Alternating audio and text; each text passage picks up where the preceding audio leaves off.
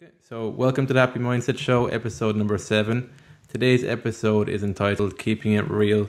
And today I'm joined by Hmm. Gabriela Maldonado uh, Montana. Montana. I hope I got that right. Uh, Gabriela, she's uh, she's a woman doing some great stuff. She's been doing it for quite a while now. She's been uh, positively helping to facilitate change in communities, multicultural communities, businesses, and uh, prisons and hospitals, to name a few different things. Um, and for anybody who isn't familiar with you, Gabriela, could you give a, just a brief introduction to yourself that to cover a little bit more? Well, hello, everyone. Uh, uh, well, I have been learning about the principles um, since 1996. Um, it's been a wonderful um, ride. It's been a wonderful ride, Dennis, because um, just it has really just understanding these principles has seeped through every area of my life, you know, my personal life, my relationship, my work life. And I started off at 14 mm, wanting to know, wanting to help people. Like I knew very early on that I wanted to to be with people and and particularly with children. And I had my my little plan of life, right? And I was going to get a, a PhD and I was going to go work kids doing art therapy. And then you know what happens. Life happens and then of course all of that gets changed um, and through a divorce uh, and while i was working at a nonprofit i learned about the principles and then it just sort of took over my life really um, and so you're right i was i have been working with a lot of different kinds of people in nonprofits uh, then for the county of santa clara uh, later on for the Center for Sustainable Change, which is another nonprofit. Um, and then just uh, I had a LLC with Elise Coit that was called True Change Consultant. And more recently, I've just been working on my own, doing trainings and facilitation around the world, you know, in English and in Spanish. And so so I've had a, a rich, rich experience with this. Cool. So, how did you know? Like, how did you know you wanted to help people? Like you said, you were mentioning when you were fourteen, you had this desire within you to help people. Like, where did that come from? Do you think? My spirit, Yeah. my spirit. I just really like deeply. Uh, I, I don't know. You know, I just really felt that from my heart to come out, and it's like you know, I want to work with people. And then was it art I like- therapy you were thinking of to start off with? Is that because you were you interested in art yourself, or Yes, my dad was actually a painter. Uh, and so I always was, as a child, I was around art. And, you know, I'm from Mexico City, and in Mexico, the arts are valued and color and all of that. And um, I actually, for a while, thought, well, I should major in art. And then I heard how hard it is for artists to make a living. So I was like, okay, wait, let me just kind of combine that with something else. And so I have a minor in art and I really enjoy creating, you know, and it just sort of felt to me like a really good fit this idea of working with kids, doing something creative, right, rather than just talking to them. And so, um, kind of that was that was the path. And I love working with kids too. I just always have had an affinity and a joy around children. So that's what happened. cool? And um, so your plans changed quite a bit. How did you come across? So the three principles are pretty much uh, mind, consciousness, and thought. They're the, the logic behind it. State of mind is the way I kind of referred to. But how did you come to um, to that understanding? Looking back on it now, how did like how did that come into your life? Well, I was working at a nonprofit here in Santa Clara County, which is in the state of California. And Santa Clara County is where the Silicon Valley is, you know, San Jose and Palo Alto and all of that. And um, the nonprofit that I worked for received funding from the Department of Alcohol and Drug Services, which is part of the Santa Clara County. And the director at the time was Bob Gardner. And so he invited all the agencies that were receiving funding through his department to attend a training. Mm. And the first training that I went to was with um, Dr. Roger Mills. Um, and I wasn't really looking for it. I was kind of told, okay, you're going to go to a training. And so I went. And I was going through the divorce, my divorce, and uh, not feeling well. I was feeling really crappy. And, mm. and then I heard Roger say, there's a part of you that cannot be touched no matter what's happening to you, what has happened, or what will happen to you. And I just remember feeling like all the cells in my body remembering. You know, it just mm-hmm. went like ding, like an alarm, like an alarm in your in your uh, phone. You know, I was like, yes.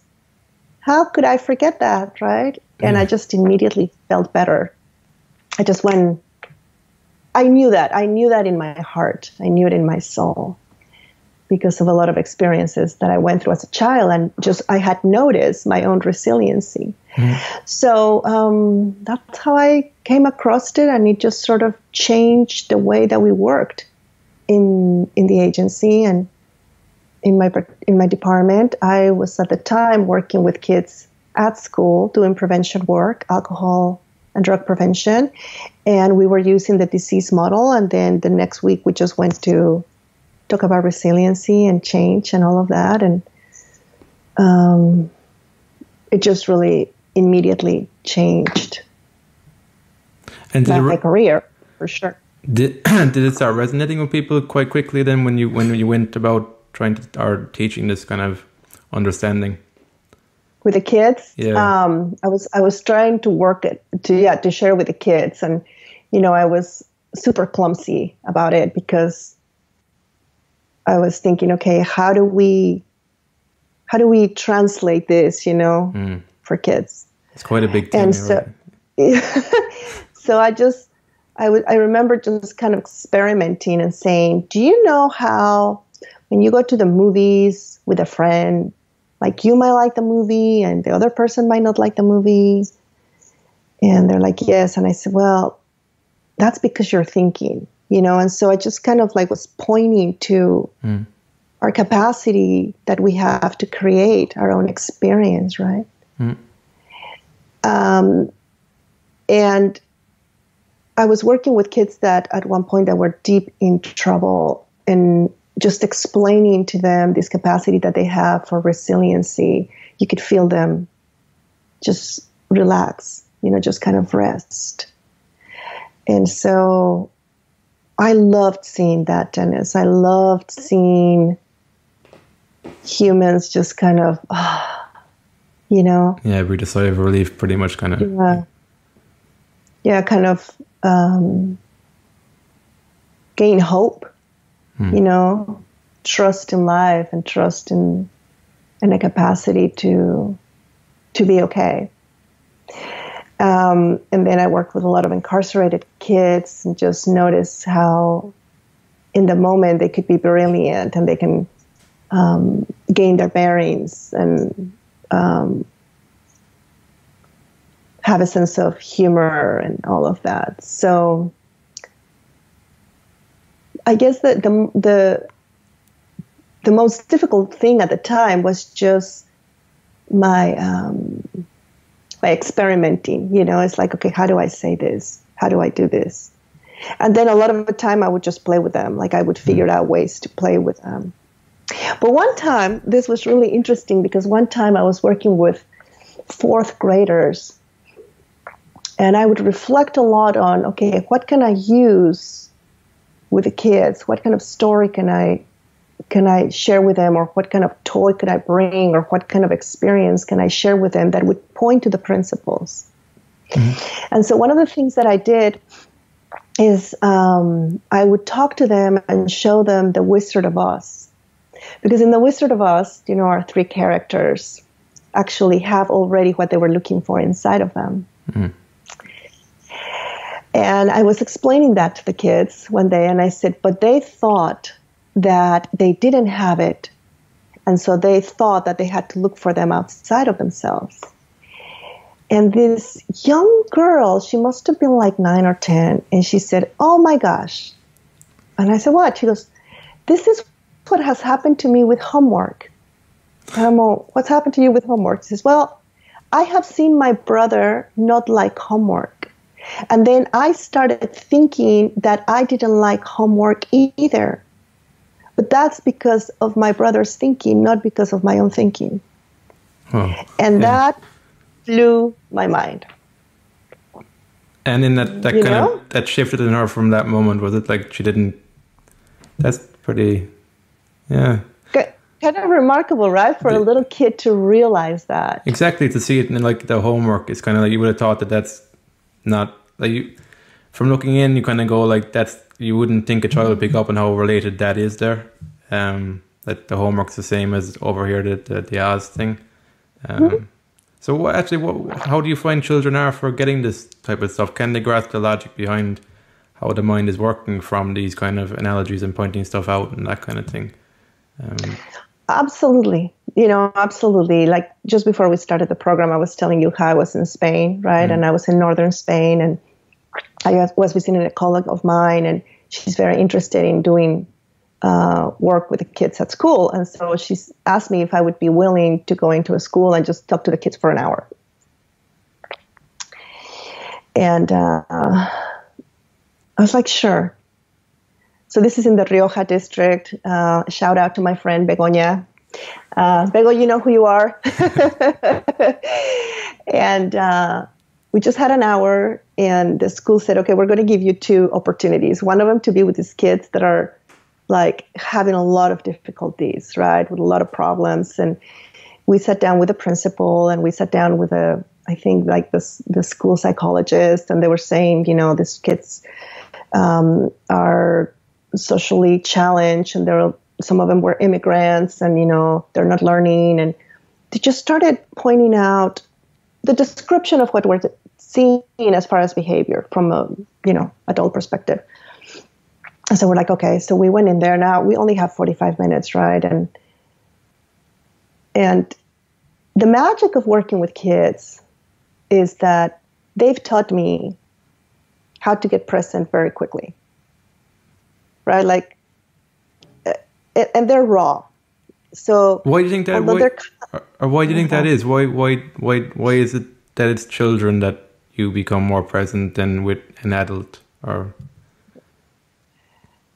Uh, well, for me, from my experience, is because they're raw. You know, like an adult might be willing to pretend that they're listening and to pretend that they're paying attention. And with the kids, are just so obvious that, oh my God, this is so boring, right? They're yeah, so I get you. Yeah, yeah. unplugged, right? that you just kind of either run or you get present. And I've learned to get present, really present very quickly through them, mm-hmm. right? They've helped my, my work a lot. Anyway, so we just sat down in a circle and we started talking. You know, we started talking about their favorite things and what they like to eat and the worst thing they've ever eaten and the, you know, all this stuff. And we just started talking to them a little bit about thinking, just a little bit about thinking. And at the end, towards the end of the of our of our conversation, one of the girls said, and this is a girl that has had issues every day this year, this school year. Okay? And this is what she said. You know, last year I would not pay attention to all the other kids. I would just not even think about it. And I was fine. I was happy. And this year, I'm paying attention to them, and look what's happened. So, those kind of insights that kids can have, right? Mm-hmm. It, from my experience, is they can have very, very deep insights in a moment, just as deep as any adult, mm-hmm. right?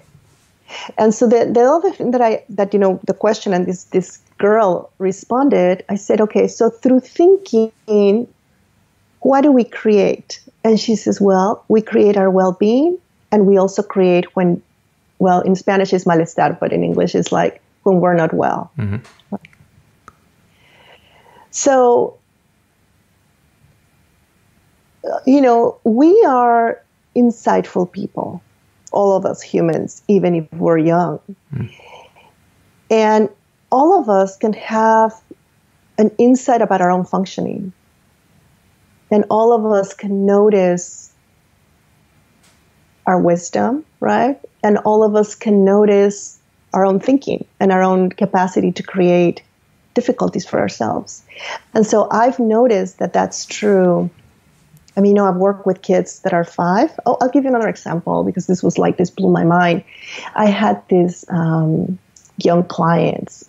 So they were five and seven, and this just happened maybe like two months ago. And so I would go to their home right after school and I would sit with their parents. Their parents actually knew about the principles and they had gone to um, some of the trainings in Santa Clara County.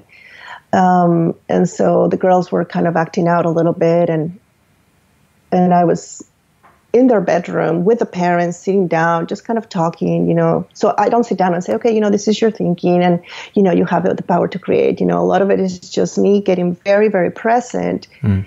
and and while i'm present it will occur to me something about something that i want to share with them or ask them questions or something. And so the little one started having tantrums like the older one. And so the parents said to me, you know, the older one is actually done wonderful this week, but the little one is really acting out. So I said, huh, that's interesting. Well, let's call her. Let's find out. You know, let's see what's going on. So I sat her on my lap. You know, the parents are there. I'm on the floor. And I said, you know, what's going on, honey? You know, I heard that you're having tantrums. And so what's happening? And she said, you know, I really get scared sometimes. And I just need to be held so I can calm down. Right? Mm. And so, I mean, I get chills right now telling you this because we were all in the room. And before I asked her, we were all kind of throwing ideas as to why this was happening, you know? Yep. We were theorizing. And, the, and when we asked her, it was just so clear. It was just so clear from a five year old, like what's going on, right? Mm. And then the mom said, Well, honey, sometimes I hug you and you still act out. She goes, Yeah, I know. I know. So, what I found in working with kids is that wisdom comes through. Why wouldn't it? Mm. Right? That's amazing that like a five year old could be that clear and precise in what they actually wanted when it came down to it. Yeah. Is it the space that's coming from, or like do you think it's because you were receptive to that that, that she opened up, or kind of uh, does that allow for clarity to come through? I suppose it's hard for you to maybe uh, say, but um, it's just for me. What struck me there was very precise, and I've never really maybe seen that myself too too much. That a child to be that precise in what they actually wanted.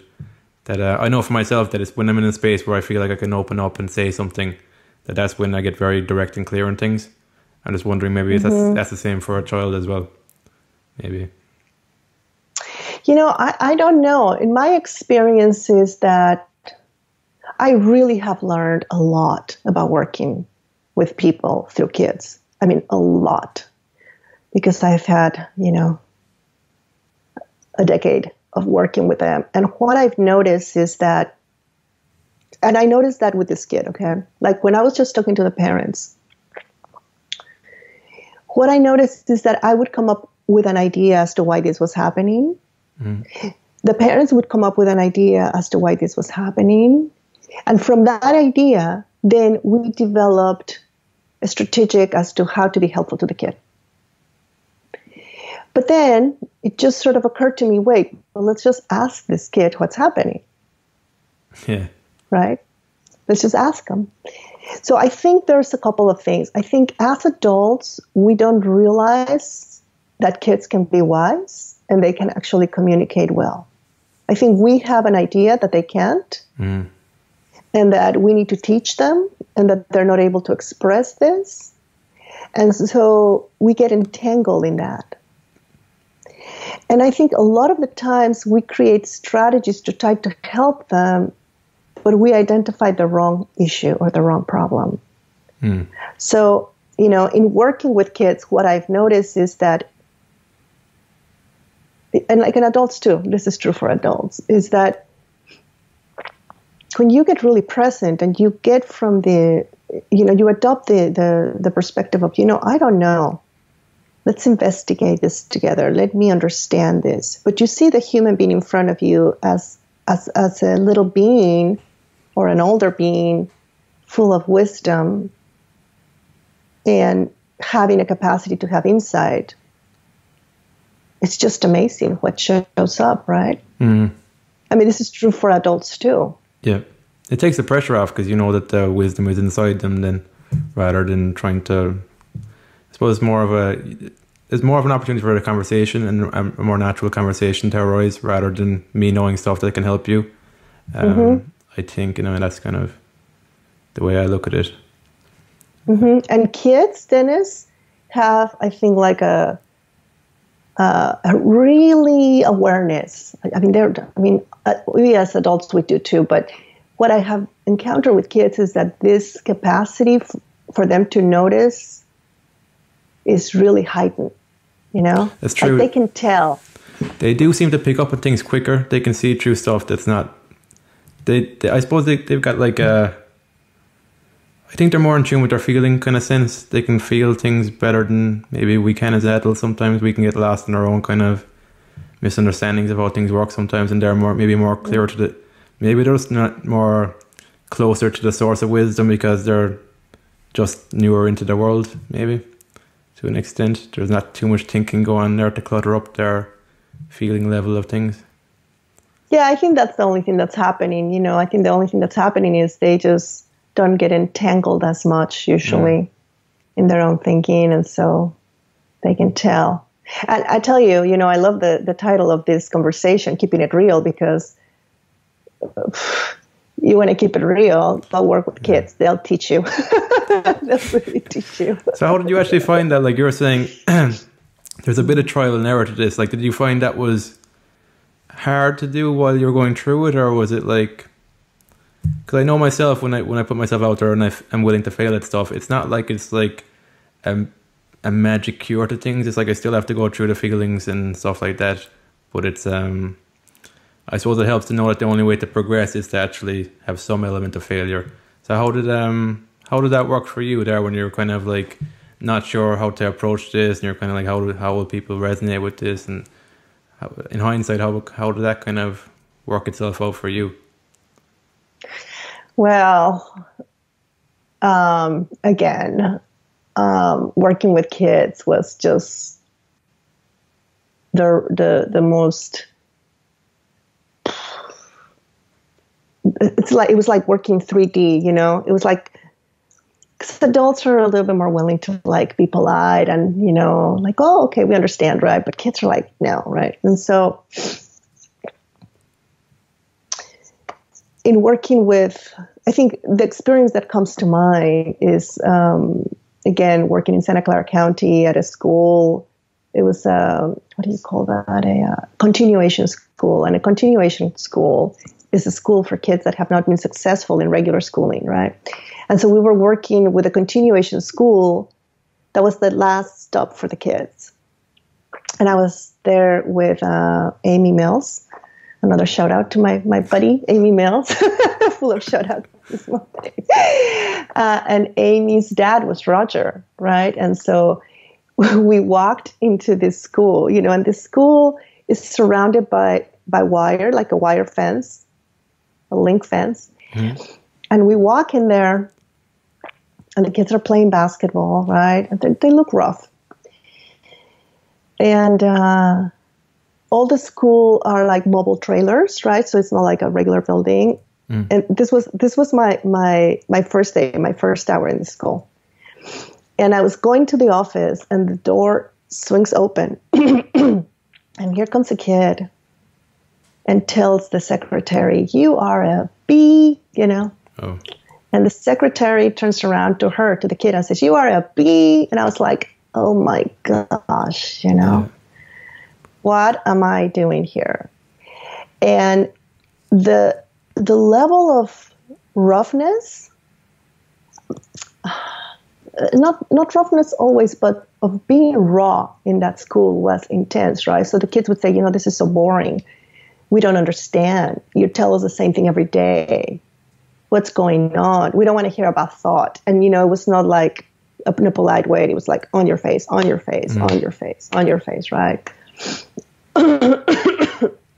we would come up with an idea and they didn't want to have anything to do with it, nothing. Um, didn't want to engage. And they were, they did not want to engage. They, they were talking. They were, uh, I mean, they were just rude at times, right? Did it ever cross and your I mind remember, to, to give up on it, or did that ever did that ever cross your mind and, and you plow through it, or or is that ever a question for you to kind of give up on that kind of thing?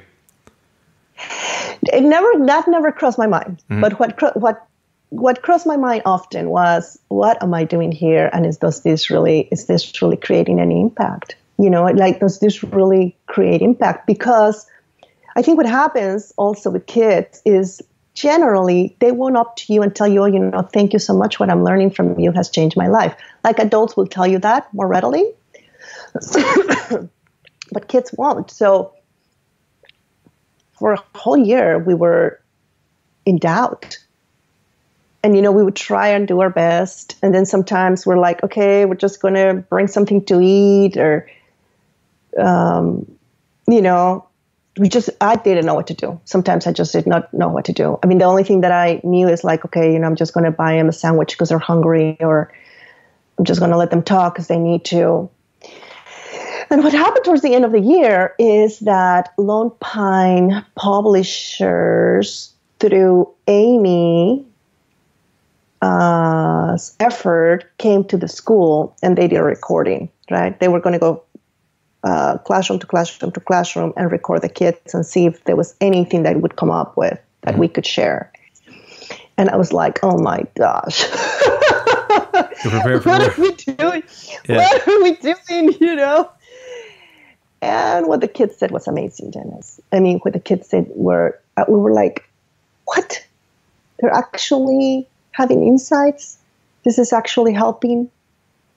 And you didn't know for the whole year that it was actually helping them, is it? No, you know, we were, we noticed that they started warming up with us a little bit more, right? Mm-hmm. But I, I mean, there was one particular girl that I just had a hard time with because she was kind of like on my face a lot and she was really harsh, you know. And she started talking about being in an abused relationship as a young teenager and how this really helped her to realize that she re- this, uh, blah, blah, deserved better. She says, you know, I deserve better. I don't need this. Mm-hmm. And so, so, so going through that helped me understand that that mind, you know, that the intelligence of life that is present in every one of us is at work always. And that it has like a resonance on people, right? And mm-hmm. that maybe and that maybe while you're in the class or you know in the coaching session there's nothing gigantic that happens. But then it can happen at any moment.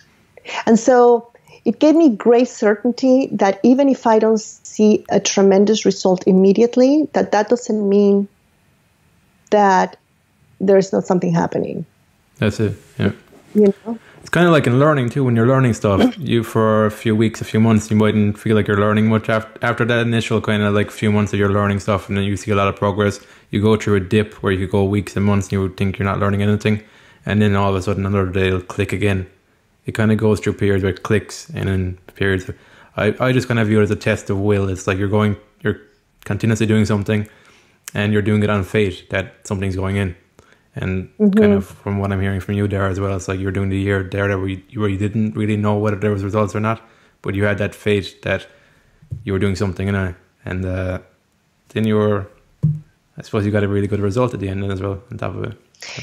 Yeah, you know, it was kind of I I mean, there were many times, to be perfectly honest with you, that I would go in the bathroom and, you know, Amy and I would take turns as far as just like going in the bathroom and kind of like praying or saying, you know, like, mm. okay, let me come down and let me be of service. You know, I, I think what happened is that the kids really notice our intention. Yeah.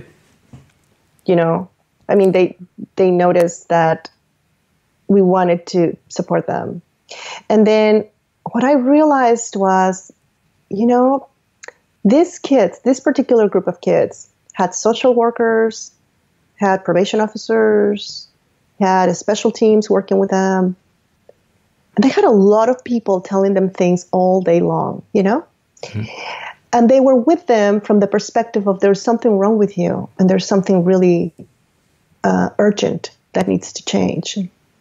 What I realized at some point was, you know, if I can just be with them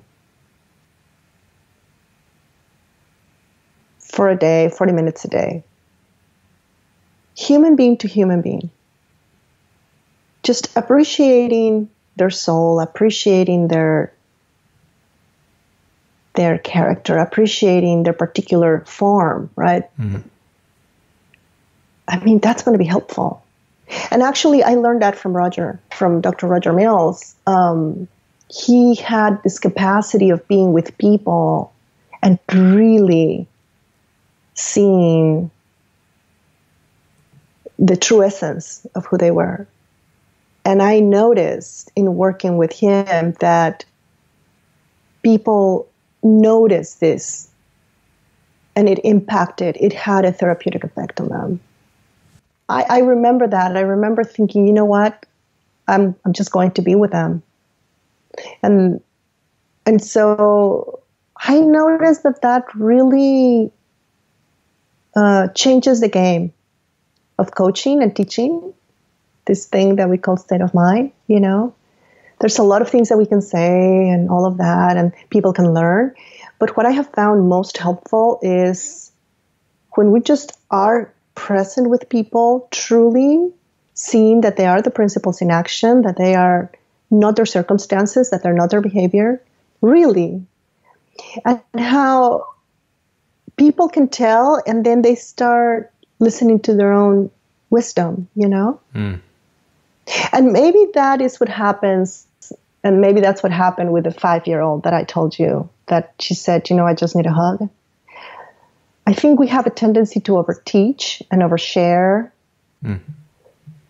And when we are just present it gives space in the conversation for the other person to hear their own their own soul and what can be more powerful than that right that's it it's changing i suppose yeah it's changing the dynamic it's like number one it takes the pressure off me to have to teach something to somebody and number two it's actually because it's actually quite rare we do get those situations where somebody's genuinely listening to you and they're drawing out whatever is within you and uh because a lot of times too, it's like when there's stuff on your mind, it's hard to concentrate, or it's hard to even get about your own life when there's stuff on your mind. But when you get into a situation where somebody's listening to you, you can just get it off your chest and move on a bit. And um, that's actually how I view growth as well, and and uh, change is actually it's when you don't even notice it. It's just like you just look at things differently. You don't even notice that you're looking at things differently until like a couple mm-hmm. of months mm-hmm. later, you're like, oh, that's not an issue for me anymore. Or, whatever. That's when I kind of look at change and I go like, that's actual proper,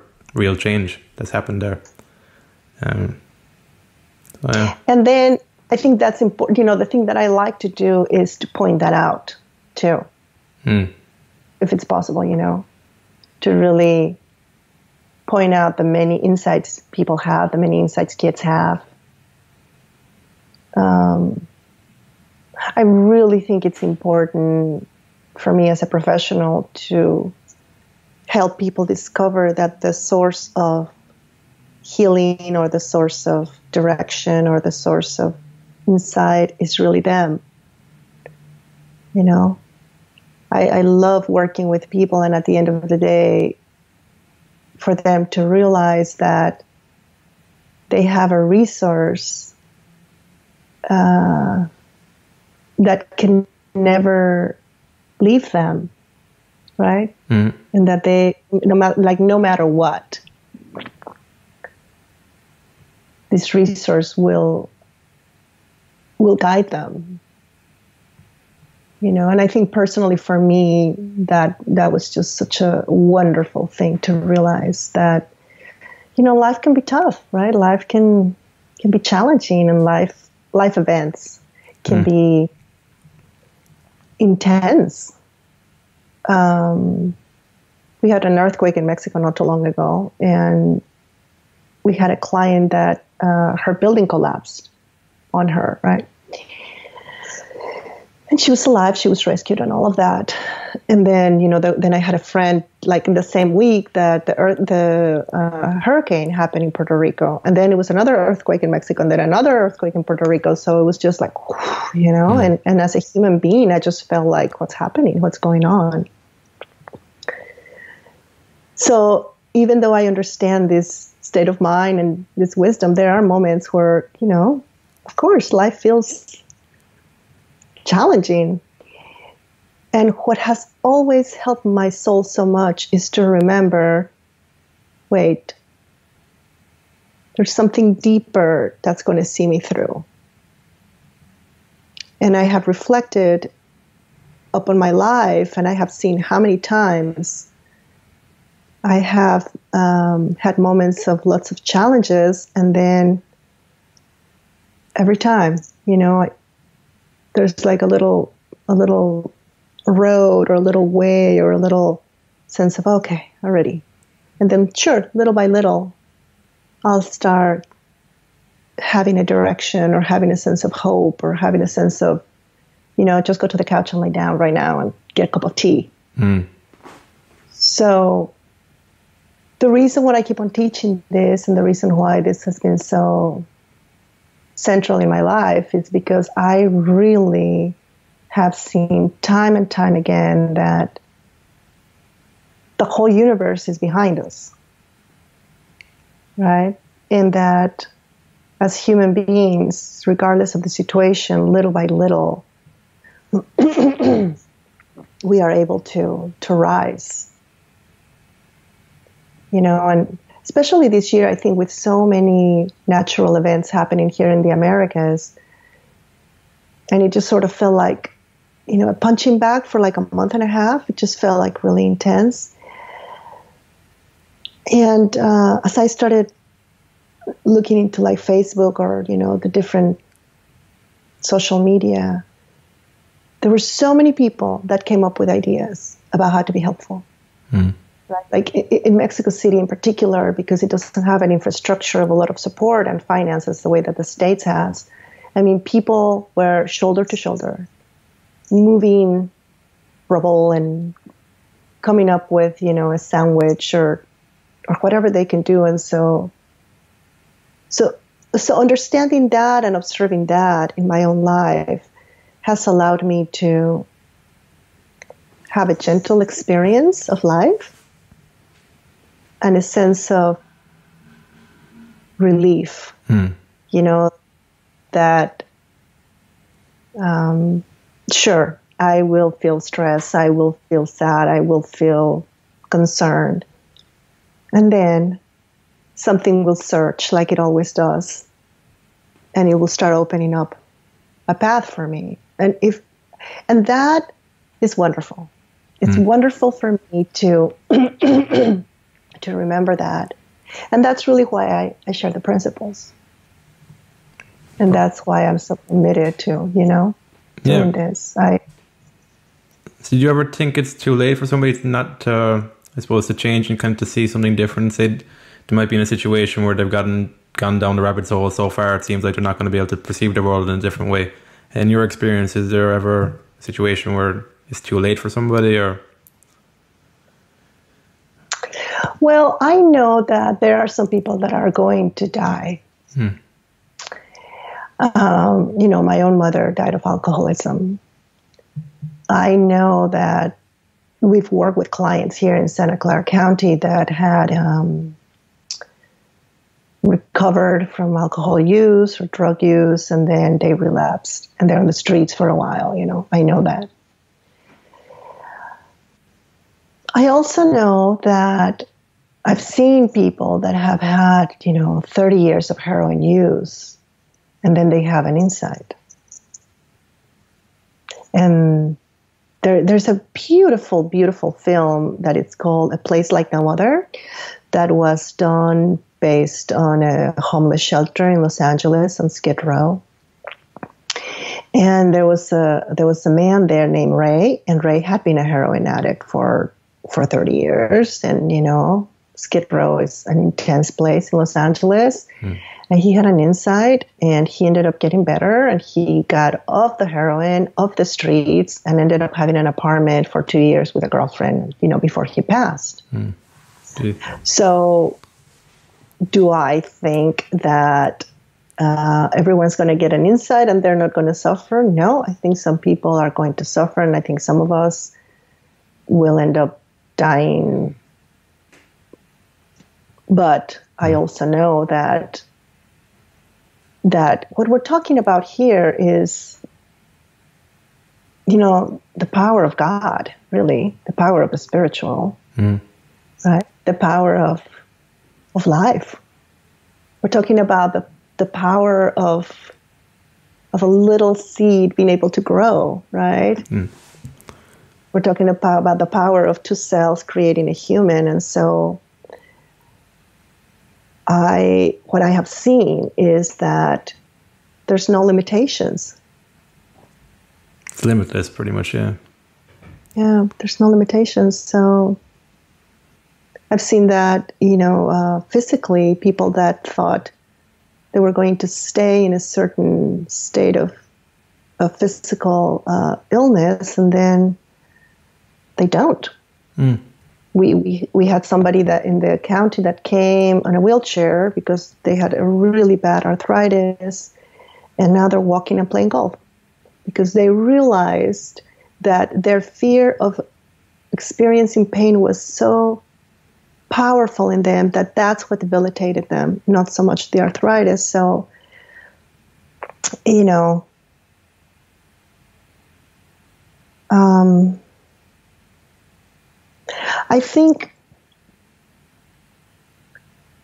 I think insight can show up at any time. I think um, love and kindness can show up anytime. I think mm. hope can show up at any time. I mean, I've seen it. Yeah. I've seen it a lot. So perfect. And uh, actually, I just wanted to touch on as well your book. So you co-wrote a book called uh, Lita La Frijolita. So I've read some of it. And yes. I, I really like the animations and um, the story. Um, could you just give us a brief kind of summary of the story and how did you think of even creating that book?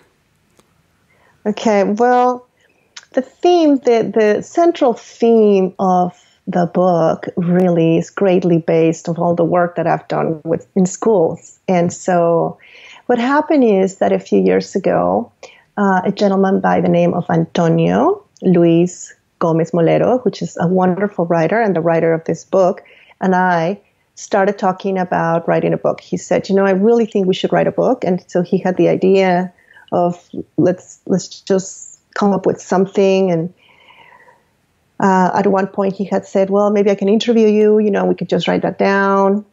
And then, you know, because he has two young, beautiful daughters, we came up on this idea of let's let's talk about what happens to kids, and particularly what happens to kids at school when they're experiencing difficulties. And what happens with kids at school when they're experiencing difficulties is that they um, they no longer experience school as a fun place. You know, it's mm. like quite stressful, and the adults around them start getting very serious and you know, at least in the states, this is really common in my experience. You know, um, we forget to see the kid, and we just see the problem. Yeah. Right. So, so our main character, Lita, who lives in Beanland, uh, she loves um, baking, baking class, but hates math class, and so she falls asleep during math class, ends up being yelled at. She gets demoted and she's quite upset about that. And so at night, she starts thinking about all of what's happened during the day. And so the monster, the thought monster, kind of starts getting created, right? Mm-hmm. And then uh, the parents are very worried, which is really what happens, you know, when kids are experiencing difficulties at school. Parents get very worried, and, and then uh, they're concerned, the kids are concerned. And she ends up going to the benologist, right? And the benologist just tries to help them through different um, methodologies mm-hmm. and, um, of course, gives them medication. Because, you know, here in the States, also, I think um, uh, getting medications for kids for ADHD or anything like that, it's, it's quite easy, unfortunate. Mm. And then the medication gives them side effects.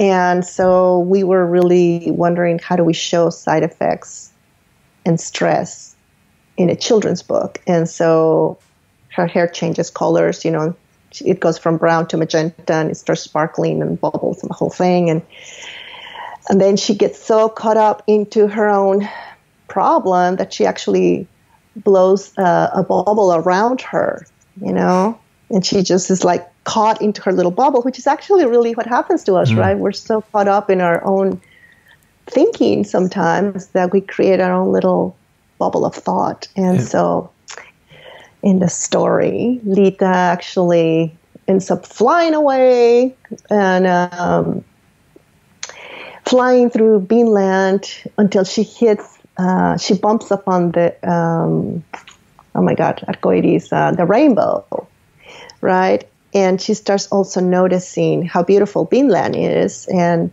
she comes down ends up talking to Doña Frijo which is a little old lady that has two blue dogs and um, she's the the person in, in Beanland that can see mm. kids, even when they're having problems. And so she starts playing with her and talking to her and explains to her that she's thinking, and that is the problem, and not to worry because this thought's going to pass through.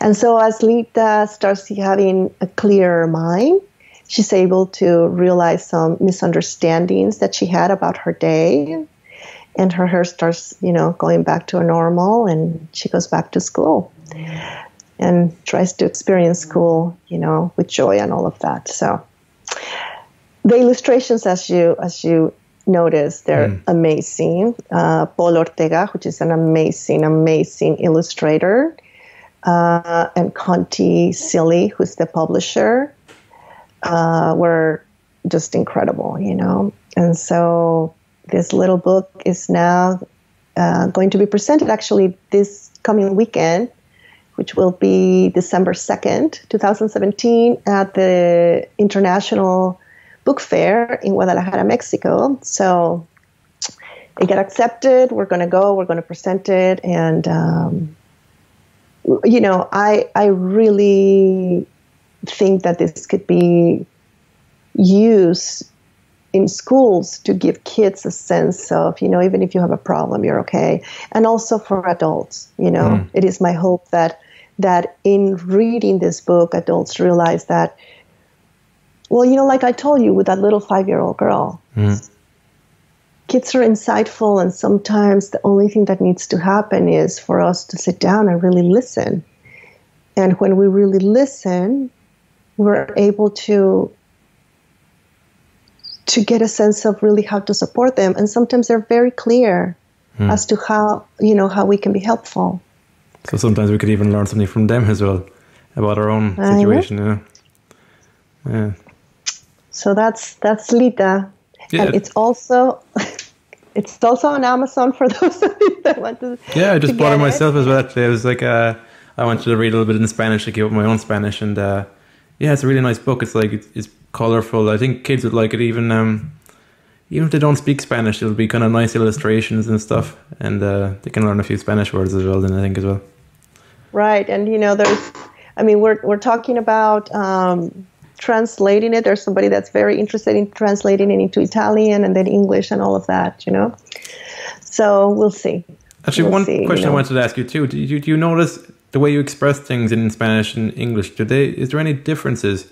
Like when you try and get across stuff about state of mind and the principles to people. Do you ever find any differences between Spanish and English actually in the words itself? Is there any limitations in either language or different ways of saying things? Yeah. Yes, Dennis. Um, you know, it, I learned to share the, the, principles in English. Um, and then, uh, then I started sharing them in, in Spanish. And one of the first limitations is that in English, there's not a different word for consciousness, consciousness and conscience. It's the same word. Consciousness and conscience. You know, I mean, we have translated as conciencia, you know, and other things, but really, it's always like, okay, the point is not the words, right? Like mm. Sid, Sid used to say, Sydney Banks used to say, the point is not the word. The, the words are not the point. Yeah. And then and then that's true also I think with kids and in Spanish and you know with all the different populations that I've worked with.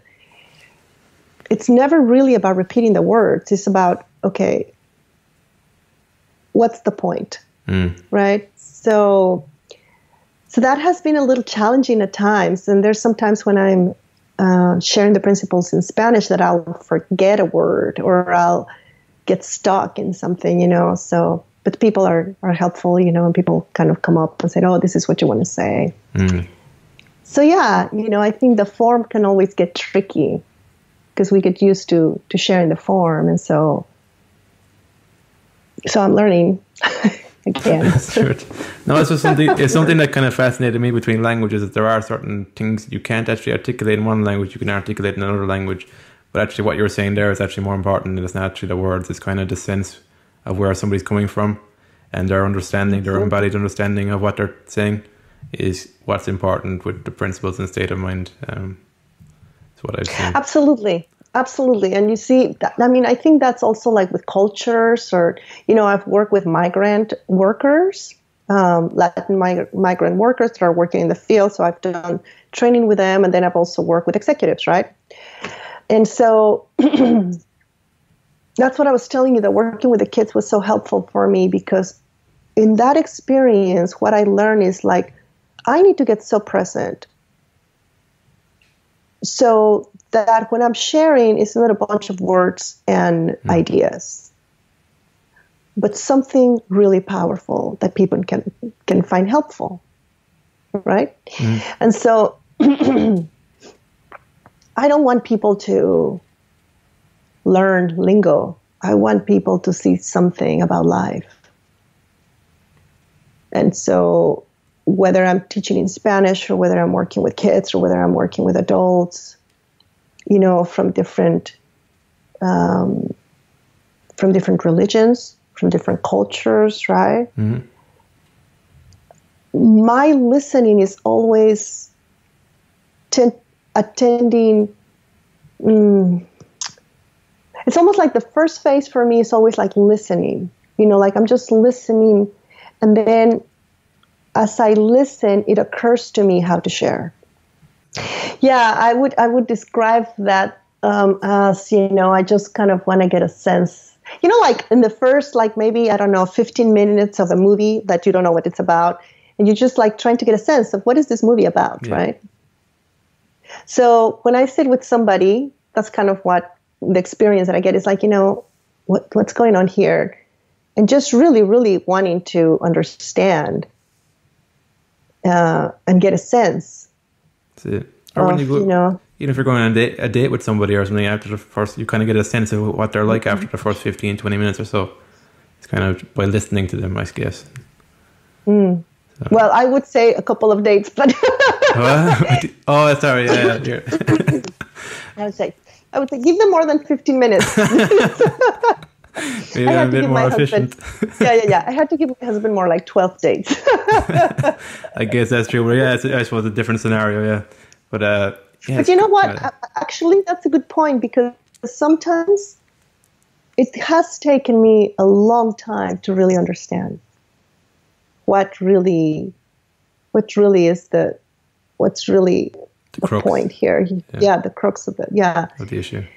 I mean, sometimes what I've noticed is like I'll start listening to somebody and then I'll think that I have an idea and then I'll present something and the, then I can tell, no, this is not an idea because there's an immediate resistance, right? Mm. So I'm like, okay, let me listen more. And so, I mean, honestly, like in a lot of, of the work that I've done, sometimes my listening is 40 minutes because I'm just like, you know, I don't know. And sometimes I mean, I've worked with people that we, I, I worked with this kid, she was 21 years old. We had five sessions total, and the first four sessions were like, what's going on? Because I have no idea. So I just really, I just really have learned the value of being with somebody without any intention in my mind, you know, without any plan, without just really wanting to mm. get the sense of this human being. That's it. Instead of jumping in there thinking you have the answer, that that's kind of what I've seen too. It's like sometimes you'll think that oh, I know this problem from somewhere before, and you've got this urge to kind of jump in, but then actually, if you just listened a bit longer, you might realize oh, it wasn't that problem at all. Mm-hmm. And it, mm-hmm. it's even with programming as well. There, there's a guy, John Sonmez, simple programmer, and he was saying that when you get a problem to solve, if you've got four hours to solve it, spend the first three actually reading the question, and then just kind of map it out. Because oftentimes people answer the wrong question begin with, so they could spend the four hours doing something that's not even what was asked. And it's the same Absolutely. for me there with that kind of thing as well. I think. Absolutely, I think you know I've seen how many of us, and you know me included, I've I've had this. Uh, quickness to teach, right? Hmm. And it goes nowhere. And it's like, oh, well, yeah, because I didn't understand really. And so I see time and time again how important it is really to be present so you can understand, you know? And so, so I, I think that's really, uh, that's really just important. Mm. You know, to be willing to really be with somebody and not know. Yeah, being comfortable with the unknown, I suppose too. Yeah. Oh, that's right. Well, my favorite my favorite book of the principles is The Missing Link. Um,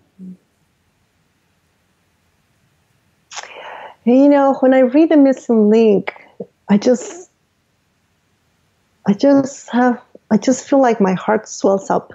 Hmm. You know. I feel lighter. Uh, I feel kind of lighter sometimes when I'm reading these books. It feels mm-hmm. like it just because it's simple and it just it just seems true and it's kind of like I don't know. I just get it's kind of like a meditative state. It's kind of just relaxed, kind of. I don't know. Yeah. Yeah, I really, really, really like the missing link a lot because I feel, um, you know, there's like the quote. There's one of my favorite quotes that is, um, anyone at any time can have a brand new thought that changes their lives. Mm. Um, and I just have been, you know, I, I the way that I read this particular book is I just read a little bit, and then whenever I feel touched, I just you know close it and put it away and stuff. But I really, I really, really, really like that one. Another book that has been really helpful and raw and uh, real is a book by Jack Pransky seduced by consciousness because you know sometimes you get the sense that okay you you learn about this and then your life is perfect right and mm-hmm. then nothing happens and you go off sailing in the distance in the ocean with a perfect sunrise and or sunset and that's just not it mm. and so i really like the the the realness of this book you know and i think jack absolutely put himself out there uh, with lots of personal stories and and I appreciate that. I mm. appreciate mm. when when we say, you know what, yes, as a human being, I continue to struggle sometimes, and I have blind spots, and yes, life feels like it's swallowing me sometimes, but I, I'm still here, and so, you know, I think sometimes. Uh, sometimes there's a sense of like, well, life becomes utopic, and you know, mm nothing nothing touches you and you know and that has not been my experience. And so that's that's why i really appreciated that book. Yeah you know jack uh, he presented some research i think on T- in tikkun last year. And um, him and somebody else and i'm terrible with names but anyway sorry you'll have to yeah. look it up. But um, they, they have been doing this this research as to okay, you know what what is really happening with the principles. You know, is that it really um, what seems to to be impactful, etc. And what what they have found out is that they divided divided their research into two parts. One of them is um, the creation of illusion. Okay, so they they they measured what happens to the different parts of your understanding or your life when you understand that you're creating an emotion moment to moment to moment via the principles. Okay. And the other thing they measured is what happens to your life when you understand that there is a true essence in you that cannot be impacted regardless mm-hmm. of what's going on. And maybe I'm, I'm defining it a little bit different. But what they found out is that what seems to be most helpful to people is when they understand that there is an essence and a oneness to us that is indestructible and that is there. And that when you understand that, that has a tremendous impact in many different areas of your life. And so I just thought that was re- really relevant for those of us that are sharing the principles because we often only talk about thought, mm. right? And that's helpful. But what seems to have a deeper sense of impact is also, you know, it's really the both both things, right? The, the creation of illusion, yes, mm-hmm. creating an illusion moment to moment, and most impactful, according to the research, is this sense of uh, essence and oneness and resiliency and all of that. I, I you know, I would invite anyone to um, look at this research. Actually, I'm sure if you contact Jack or I think it was in Tikkun. It was presented in Tikkun, so I'm sure there's video of that. Cool, and thanks for thanks for taking the time to, to join us today, Gabriela, and uh, for sharing your what you've been doing in the world. Um, is there any way for people to contact you, or what are you working at now these days? Or yes, I, I need to be better um, positioned um, because it's it's not so easy to contact me. But I'll you, I'll give you my um, very complicated email. You okay. can put it in the link, and then yeah. you can also contact me through Facebook. I think Facebook is probably the easiest for people. Hmm. Um, and it was a pleasure being with you today, and thank you for doing the interview. No problem. The pleasure was all mine. So until next time, have fun and enjoy the process.